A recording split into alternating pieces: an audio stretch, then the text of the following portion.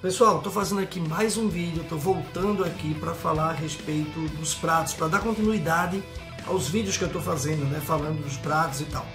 É, eu escolhi né, a linha MS para falar dos meus pratos da linha MS.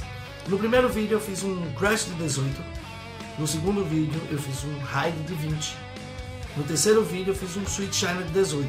E nesse vídeo agora eu vou fazer uma das peças mais importantes da bateria, uma das peças mais fundamentais para o batera. E isso dando um grau de importância muito grande para a qualidade do produto, que é o chimbal. O, o, o chimbal que eu vou falar agora é um MS de 14. Eu também tenho um MS de 12 e de 13. E nesse mesmo vídeo eu vou mostrar o som de cada um, tá? Então eu vou falar menos e mostrar mais. Lembrando que o áudio está sendo é, da câmera, não é um áudio processado. Então fica ligado para vocês entenderem o que cada pratinho desse proporciona, tá bom? Valeu!